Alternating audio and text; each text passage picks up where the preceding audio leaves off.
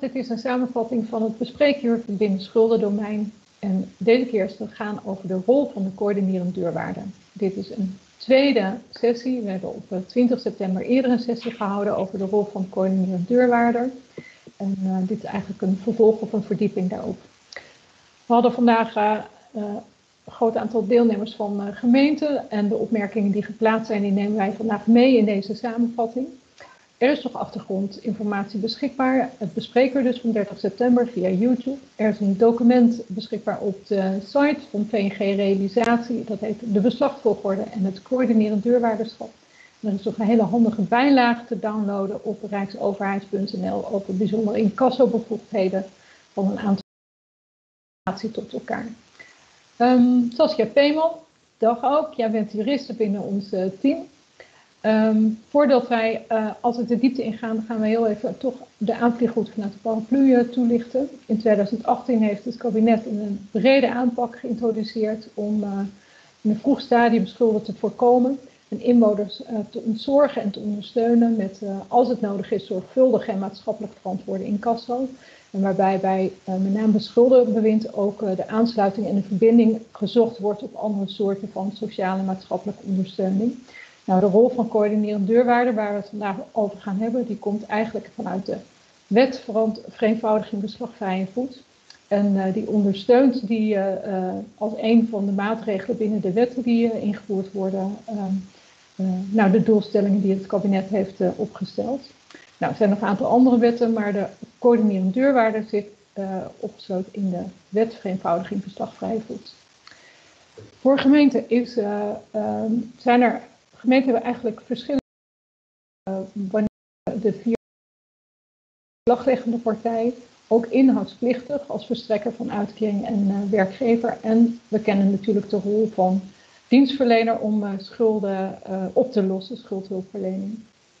Als we gaan kijken naar de rol van coördinerend deurwaarder, dan zit die op invordering van het belastingdomein. Daar wordt een loonvordering gedaan. Bij het sociaal En uh, um, vanuit coördinerend deurwaarderschap gaat het eigenlijk over de beslaglegging binnen het sociaal domein. Um, en de invordering rondom de overige vorderingen. Dat zijn ook loonvorderingen die dan gedaan worden. En dan gaat het echt over um, dwangvorderingen op parkeerheffing, uh, havengelden, dat soort zaken. Um, nou, voor de inhoudsplictige geldt dat uh, um, daar ook derde verklaringen en afdrachtenverklaringen ingevuld uh, moeten worden. En uh, dat daar ook eigenlijk nu tot de verbreding van de, het um, beslagregister ook nog een deel in de werkzaamheden zit voor de bepaling rond de rol van de CDW. De taken voor de coördinerend deurwaarder, we gaan als een dolle er doorheen. Ik merk dat ik heel snel praat, maar volgens mij gaat het goed komen dat alles teruggelezen kan worden. Die zitten met name in het vaststellen van de beslagvrijheid. Uh, het innen van de gelden uh, van de derde. Het herverdelen als er sprake is van meerdere beslagleggers. Een heel belangrijke rol is de communicatie tussen alle uh, partijen. En wanneer daar aanleiding voor is om de beslagvrijheid opnieuw te berekenen, te herberekenen. Nou, in de memorie van toelichting van de wet staat uh, uh, de rol van de coördinerend deurwaarder heel mooi uitgewerkt eigenlijk. En uh, nou, de slide die je hier ziet is een zinsnede daaruit. En het, hier zie je ook weer die kabinetsaanpak terugkomen. Dat het gaat om één duidelijk aanspreekpunt voor, voor de inwoner en voor eigenlijk de andere partijen ook. Er zijn voorwaarden voor het uitvoeren van, uitvoeren van de rol van de coördinerend deurwaarder. En dat betekent dat er altijd sprake moet zijn van samenloop van beslag op één inkomstenbron. En in theorie is het mogelijk dat er uh, bij één inwoner meerdere coördinerend deurwaarders zijn. Het is een heel theoretisch geval, maar er zijn natuurlijk meer inkomstenverhoudingen. En als op die verschillende inkomstenverhoudingen, wat eigenlijk nu met de vaste beslagvolgorde zoveel mogelijk voorkomen wordt, Ehm, als er meerdere ehm, beslagen liggen op eenzelfde uh, inkomstenbron, dan kan er dus sprake zijn van meerdere coördinerende deurwaarders. Nou, ik kan er bijna geen mogelijkheid bedenken, maar het is in theorie mogelijk.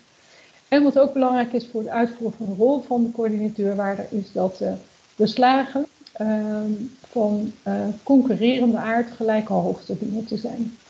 En daarnaast moet de gemeente het oudste executoriale beslag hebben, dus als eerste beslag gelegd hebben, om die rol uit te voeren. Nou, dan hebben we het in de samenvatting al best wel veel punten benoemd, denk ik. Ehm, voor die twee typen vorderingen, vanuit gemeentelijk perspectief, is nou, de meeste mensen die met inning en vordering te maken hebben, die kennen natuurlijk de waarderingen van de beide vorderingen in de wet.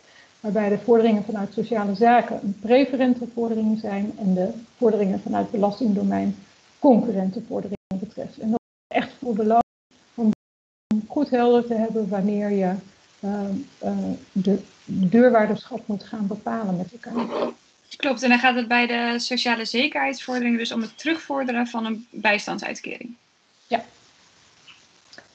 Nou, we hebben um, voor deze sessie eigenlijk verschillende schema's gemaakt. We waren zelf ook een beetje aan het stoeien van nou, hoe maken we nou helder uh, in welke situatie de gemeente nou aan zet is eigenlijk. Uh, in plaats van wie is de mol en wie krijgt de rol eigenlijk.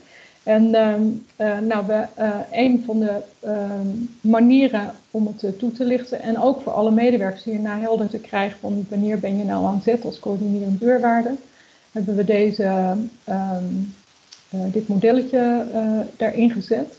En het model start eigenlijk altijd bij de ontvangst van de derde verklaring. En voor de bepaling van uh, coördinerend deurwaarderschap is dus als een van die voorwaarden van belang om te bepalen of er samenloop is met andere beslagen op die ene inkomstenbron. En als het niet zo is, dan is er geen sprake van een coördinerend deurwaarderschap. Dan ga je dus gewoon je normale proces in. Als het wel zo is, Saskia, wat gebeurt er dan? Dan ga je in eerste instantie kijken wat voor type vordering het is. Is het een preferente vordering of is het een concurrente vordering? Um, als het een uh, preferente vordering is, dan is het van belang om te kijken of het een gerechtsdeurwaarder is of niet. Uh, is het een gerechtsdeurwaarder, dan is de gerechtsdeurwaarder de coördinerend deurwaarder wanneer die voor jou beslag heeft gelegd. Ja. Dus wanneer de gerechtsdeurwaarder als eerste is, uh, is geweest. Um, bij, als er geen gerechtsdeurwaarder is, dan heeft de, de, gemeente de rol van coördinerend deurwaarder als de gemeente het oudste beslag heeft. Ja. Dus dat zou dan zijn in de situatie dat de gemeente als eerste is voor een preferente vordering op grond van artikel 60 participatiewet. En na de gemeente legt het UWV bijvoorbeeld beslag. Ja, Als er sprake is van een concurrente vordering, dan is het eigenlijk alleen nog maar belangrijk om te kijken of de gerechtsdeurwaarder is, ja of nee. Als de gerechtsdeurwaarder is met een concurrente vordering die voor jou beslag heeft gelegd, dan is de gerechtsdeurwaarder coördinerend deurwaarder. En als ja. het een vereenvoudigd derde beslagleggende partij is, uh, dan is de gemeente uh, coördinerend deurwaarder. Ja, nou, het is best wel, uh, uh, om, je moet goed in de materie zitten om heel snel zeg maar dat uh, loopje te kunnen, de, doorloop helder te hebben. We hebben Marion Mertens gevraagd om een tekening te maken ook. en eigenlijk is dit de aanvliegroute waarbij je eigenlijk uitsluit dat de gemeente coördinerend deurwaarder is. Dus een andere manier van vertellen eigenlijk. Hè? Maar um, kun jij hem toelichten, Saskia? Ja, naar aanleiding van het bespreken van vanmorgen zal die wel worden aangepast. Want uh, ja. de behoefte aan uh, een overzicht van de preferenties, of, of juist niet, uh, leek relevant. Dus die gaan we nog even toevoegen. In principe zo, is het zo dat als je dus vanuit die terugvordering van de bijstand um, beslag gaat leggen. En er is een andere beslagleggende partij. Dus uit de derde verklaring blijkt dus dat er een ander beslag ligt. Ja. Dan ga je kijken, is er een beslag van een belastingdienst blauw? Dus dat is echt voor de inning van de belastingen. Ja. Uh, de Belastingdienst is een hoogpreferente schuldeiser. Uh, dan is dat het geval, dan is de Belastingdienst CDW. Ja. Uh, wanneer er sprake is van een ouder beslag of een jonger preferentbeslag van een gerechtsdeurwaarder, dan is de gerechtsdeurwaarder ehm, coördinerend deurwaarder. Ja. Is er sprake van een ouderbeslag van UWV, SVB of gemeente, dan is UWV, SVB of gemeente uitkeringen um, de coördinerende deurwaarder. En dat heeft ermee te maken omdat UWV, SVB en gemeente op grond van de terugvordering van de bijstandsuitkering ook preferente vorderingen hebben. Ja. En als je dus van die gelijke rang hebt, uh, dan is degene die, de, die het oudste beslag heeft uh, de coördinerende deurwaarder. Ja, en aan deze tekening gaan we dan hier bij het UWV-SVB gemeente uh, voor de uitkering preferent aan toevoegen. Ja, en dat, als je deze tekening dus om zou draaien, dus zou vragen van wanneer is de gemeente wel coördinerend deurwaarder, dan is de gemeente alleen coördinerend deurwaarder als er sprake is van een jonger beslag van een van de beslagleggende partijen die vereenvoudigd derde beslag kunnen, derde beslag kunnen leggen met een preferente vordering, dus UWV, SVB of een andere gemeente met een uitkering. Ja.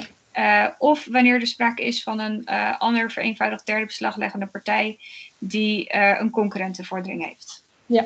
Dat zijn de enige twee situaties. Ja, en de gemeente is eigenlijk ook een beetje een theoretisch verhaal. Hè? Want dat zou alleen kunnen zijn, het is natuurlijk wel zo als die, ehm, als die inwoner bijvoorbeeld verhuisd zou zijn en daar nog ehm, schulden heeft eigenlijk. Ja, precies. Bij, bij, bijstands, bij terugvorderen van bijstandsuitkering, dan is verrekening, verrekening eigenlijk meer gebruikelijk. Ja, Oké. Nou, voor mij is het helder inmiddels. Ook na vanmorgen, dat scheelt een hoop. Hè? Uh, we hebben uh, hier de, uh, hetzelfde plaatje, niet hetzelfde plaatje, maar dezelfde aanvliegroute. ook het proces, maar dan voor de concurrentenvordering vanuit gemeentelijke belastingen. Ja, en de kans dat gemeente lokale belastingen um, coördinerend deurwaarder wordt, is eigenlijk heel klein. Ehm, zeker als er al uh, samenloop is met een andere partij. Dus als je uit je derde verklaring daar start je gewoon weer terugkrijgt dat er een andere beslagleggende partij is, dan uh, ben je nooit coördinerend deurwaarder.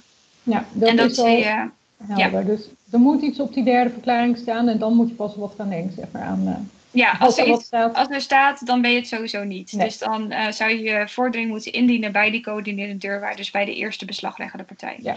Het enige geval kan zijn dat de uh, gemeente lokale belastingen coördinerende deurwaarder wordt, is als de gemeente lokale belastingen als eerste beslag legt en daarna volgt een beslagleggende partij, zoals het CEB of Belastingdienst Toeslagen of het LBO.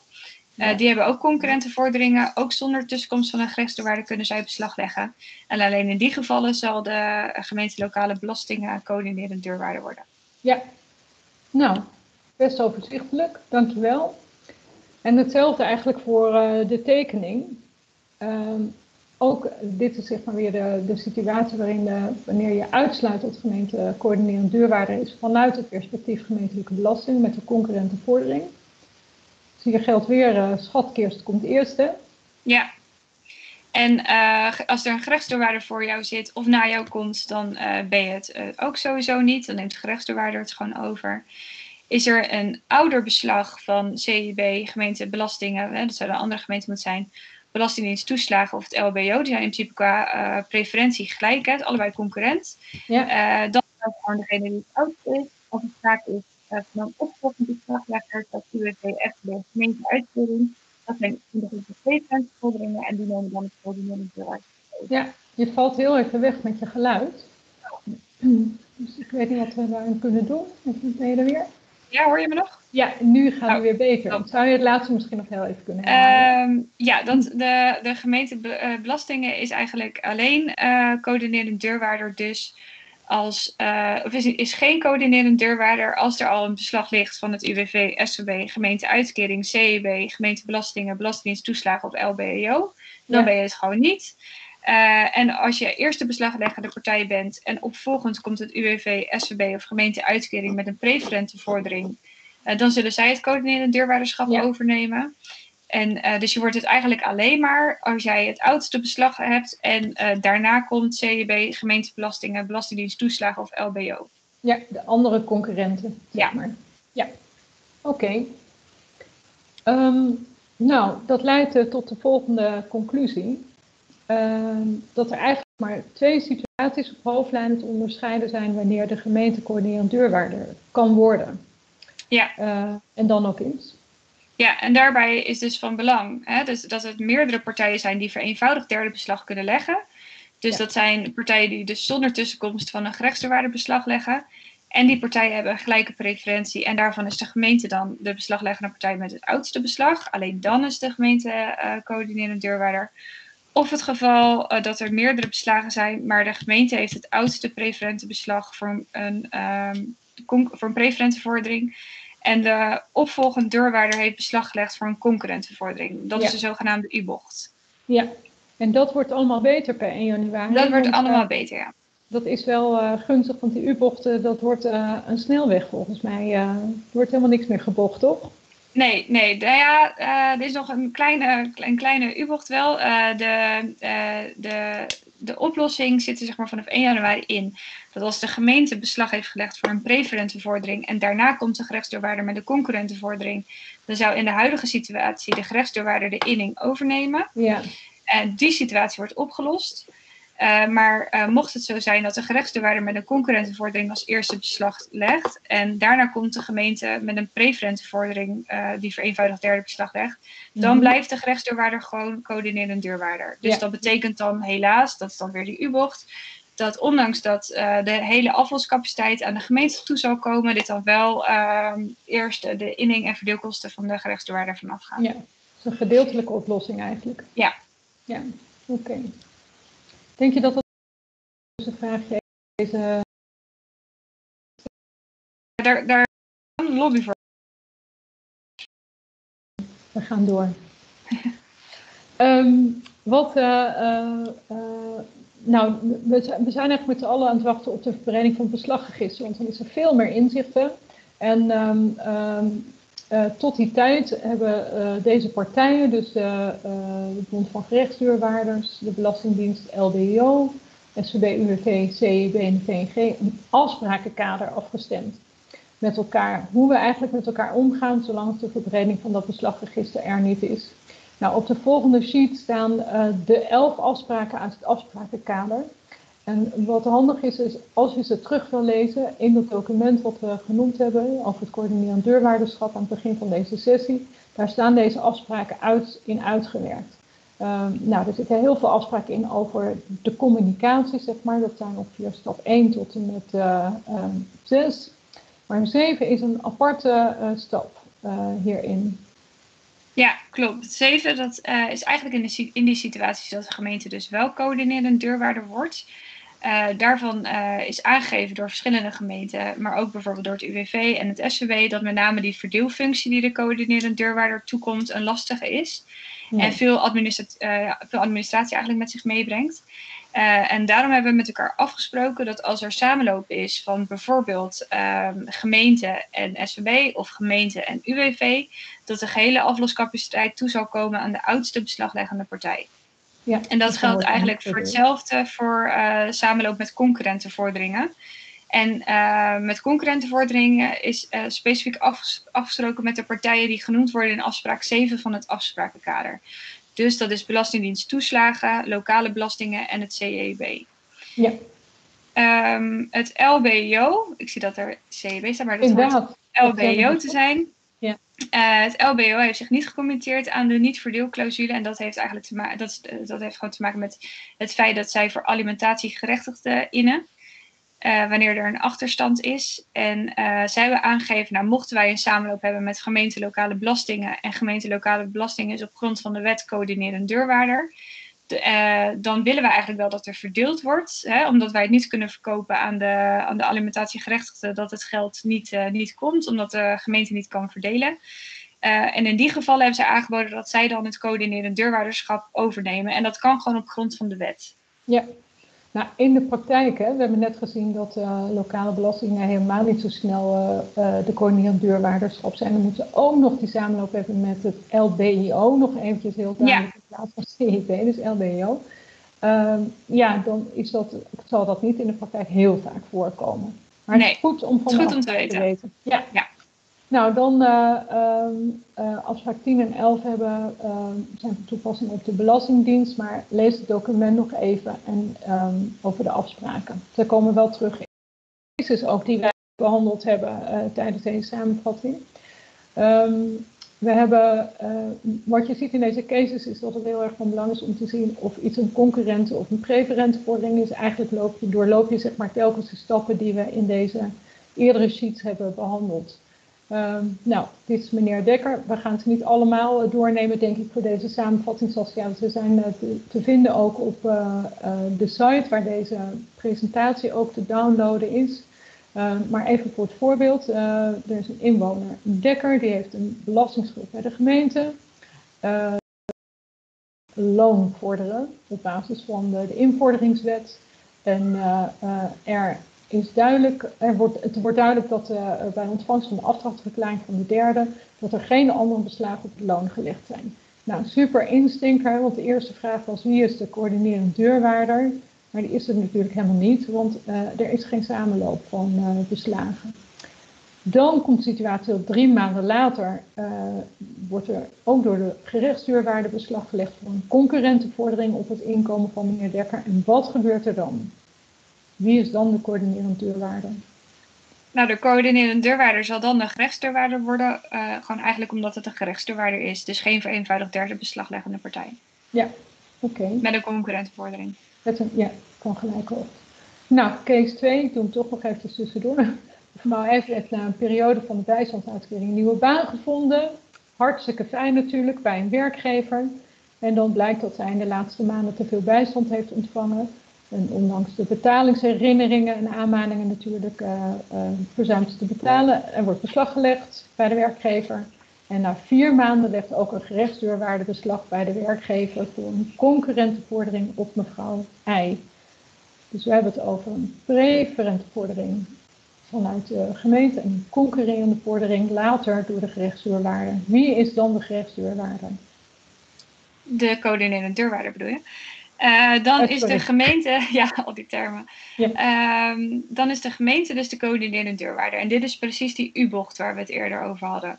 Ja, en, uh, die toch nog, ehm, toch nog in stand blijft.